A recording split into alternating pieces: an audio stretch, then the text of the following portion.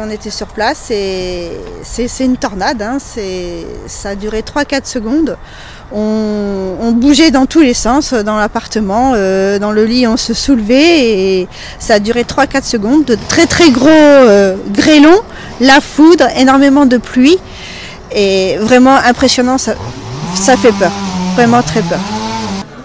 On était en train de dormir.